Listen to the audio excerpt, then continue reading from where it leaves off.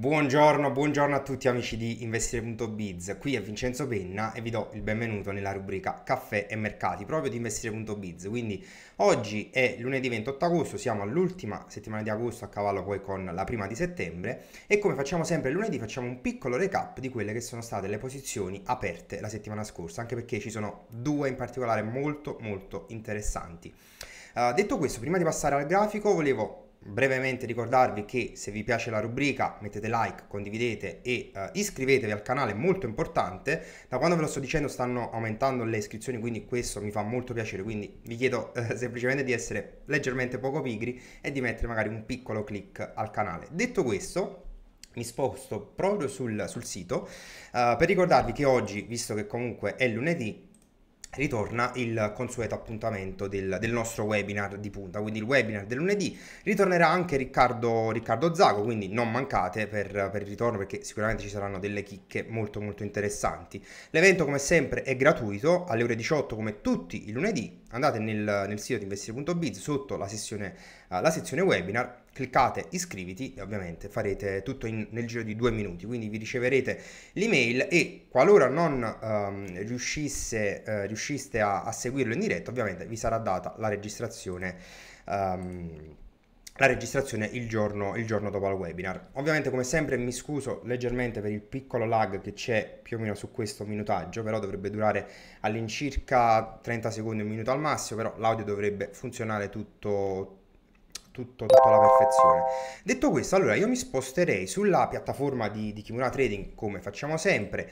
Uh, volevo partire proprio dalle analisi che abbiamo fatto la scorsa settimana, soprattutto sul Natural Gas e sul Germany 40. Il Natural Gas c'è ben poco da dire. Infatti, eh, anche con Luca durante il webinar dello scorso lunedì abbiamo detto che gas era nettamente rialzista uh, sia per questioni legate alla stagionalità sia per questioni legate alle scorte. Infatti vi ho fatto vedere come le scorte stavano leggermente andando ad aumentare quindi ad essere rimpinguate. Che cosa è successo qualche giorno fa? Mi pare che durante la giornata di giovedì um, vediamo un sì giovedì sono state rilasciate le nuove scorte e uh, contro ogni aspettativa le scorte non sono aumentate, anzi sono diminuite rispetto al previsto. Che cosa significa? Che scorte in diminuzione significa che la domanda di gas sta iniziando a riaumentare, quindi c'è un attimino una discrepanza tra la domanda e l'offerta. Quindi che cosa significa? Che questa discrepanza prima o poi dovrà essere, uh, dovrà essere appunto rimpinguata, andata a, a, rifocillare le scorte e questo ovviamente riporterà sicuramente um, a rialzo il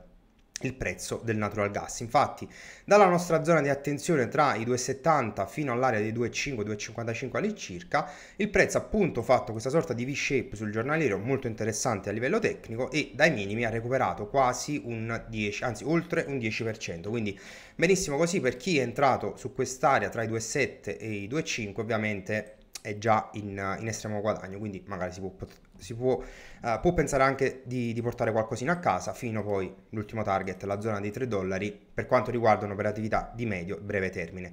Mentre per quanto riguarda il Germany, ci eravamo lasciati ovviamente con la nostra mitica entrata alla soglia di 15.870. Vi avevo detto all'incirca qui era, era giovedì di portarvi a casa qualcosina, eh, visto che comunque il prezzo era rimbalzato con molta forza, quindi qui sicuramente vi siete già portati qualcosina a casa, avete lo stop in pareggio come noi e quindi uh, la posizione la lasciamo in questo modo. Quindi stop in pareggio o se volete diciamo per essere leggermente più sicuri lo andate a mettere sopra a questo spike effettuato il 24 di agosto, però questo è quanto, quindi questa è la posizione con un profitto già portato a casa. Nella giornata di oggi invece volevo parlarvi di indici americani perché sono molto interessanti, soprattutto sotto il profilo di time frame giornaliero. Infatti, eh, ovviamente dopo il netto sell off, anzi la piccola vendita, perché comunque dopo una, un rally di questo, di questo genere, un rally settimanale mensile, dobbiamo parlare comunque di leggera vendita. Quindi dopo la prima vendita di fine luglio, quindi parliamo del 31, del 31 luglio, uh, i prezzi a livello price action hanno creato uh, ben due engulfing ribassiste, quindi sia per la giornata 13-14 sia per la giornata 22-23 uh, per, per, tutti gli indici americani. Quindi parliamo di SP, parliamo di Nasdaq, parliamo anche di Dow Jones. Dow Jones ovviamente leggermente più forte rispetto a, ai, fratelli, ai, fratelli, minori e uh, quindi qualora dovessimo andare a posizionarci short proprio uh, in virtù dell'analisi che vi ho uh, vi sto per portare stamattina lo andremo a fare o sul Nasdaq o sull'S&P. Tra i due uh, sceglierei molto di più, diciamo sarei più propenso per scegliere l'S&P, anche perché vi faccio vedere come il picco della giornata del 23 agosto um, si è fermato molto, in maniera molto anticipata sull'S&P a livello grafico rispetto al Nasdaq che è andato leggermente oltre, infatti è andato quasi a prendere i massimi di tutta questa ultima zona di accumulazione. Allora, come possiamo fare per andare short sugli indici americani? Sicuramente anche un'entrata a mercato sarebbe molto interessante, quindi da effettuare già dai livelli attuali, però per chi volesse essere più conservativo um, diciamo, consigliamo di attendere almeno un ritorno in area 15.300 per quanto riguarda il Nasdaq e invece per quanto riguarda l'S&P zona di 4.460-4.470. Ovviamente essendo un'analisi di lunghissimo periodo perché stiamo facendo comunque un'analisi su time frame giornaliero, è possibile che il prezzo vada a ritestare le zone dei 4.540, quindi siate pronti per effettuare una prima entrata e anche una seconda entrata sulla soglia dei 4550.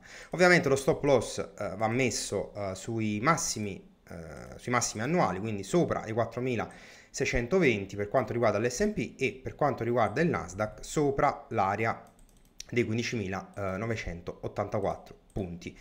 Per avere un rischio rendimento dalla nostra parte ovviamente dobbiamo andarci a prendere eh, delle zone di prezzo molto molto interessanti a livello di ehm, esposizione ribassista, quindi parliamo di zona di 13.700 all'incirca per quanto riguarda il Nasdaq e invece per quanto riguarda l'S&P la zona da prendere in considerazione è la zona dei 4.228 dollari. Quindi questa è l'analisi di oggi, sia per quanto riguarda l'S&P, sia per quanto riguarda il, um, il Nasdaq e quindi questo, questo è quanto. Ragazzi, io come sempre vi auguro una buona giornata, vi ricordo del webinar del, del lunedì, vi ricordo di mettere like ovviamente, di condividere eh, e di iscrivervi al canale e come sempre faccio vi auguro una buona giornata e un buon trading a tutti. Ciao!